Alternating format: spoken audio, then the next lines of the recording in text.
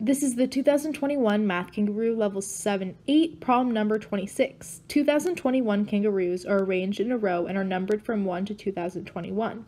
Each kangaroo is colored either red, gray, or blue. Among any three consecutive kangaroos, there are always kangaroos of all three colors. Bruce guesses the colors of five kangaroos. These are his guesses. Kangaroo 2 is gray, Kangaroo 20 is blue, Kangaroo 202 is red, Kangaroo 1002 is blue, Kangaroo 2021 is gray. Only one of his guesses is wrong. What is the number of the kangaroo whose color he guessed incorrectly? A 2, B 20, C 202, D 1002, or E 2021? This is the problem as it originally appeared on the test, and here's will be where we'll be doing the solution. So let's take a look over here. We know that each kangaroo is colored either red, gray, or blue. So just as an example, let's say we have color 1 in position 1, color 2, color 3. Because again, we know that in any, among any three consecutive kangaroos, there are always kangaroos of all three colors. So let's take a look at what we would do what color we would have kangaroo number four. And again, we're just doing this to figure out if there are any patterns. Well, if we look at kangaroos 2, 3, and 4, we already have color 2 and color 3, so that would mean that we would have to have color 1 for the kangaroo numbered 4. What about for 5? So if we look at 3, 4, and 5, we already have color 3 and color 1 represented, so we would need color 2. And then if we continue this logic and look at 4, 5, 6, we already have color 1, color 2, we would need to have color 3. And this pattern continues. What we figured out is that we have this repeating sequence of the three colors. And this is important because we can use Bruce's guesses and divide by 3 and find what the remainder is each time in order to figure out what his guess is for color 1 or color 2 or color 3 is. And we'll be doing that down here. For example,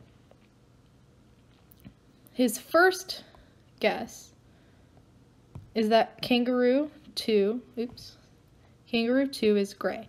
So if we take 2 and divide by 3, the remainder is 2. So basically that tells us that color 2 with that guess is gray. His second guess is that kangaroo 20 is blue. 20 divided by 3, we get a remainder of 2 as well. So that tells us color 2 is blue. So these statements we can already see, they cannot both be true, but we're not sure yet which one is the incorrect guess. Then for our third, we have kangaroo 202 is red. It's important to keep in mind that any number whose digits add up to a multiple of 3 is divisible by 3. So 202 is not divisible by 3, but 201 is because 2 plus 0 plus 1 is equal to 3, and 3 is divisible by 3. So that means that we have a remainder of 1. So that's that guess is basically telling us that red is color 1. Oops. Then we have kangaroo 1002 is blue.